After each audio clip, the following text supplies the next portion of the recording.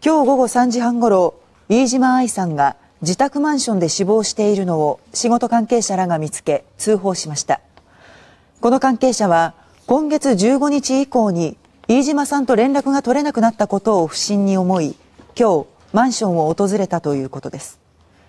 調べによりますと飯島さんはリビングで椅子から前のめりに倒れるようにうつ伏せの状態で死亡していました。目立った外傷はなく死後数日が経過しているということです。部屋は内側から二重に鍵がかけられていました。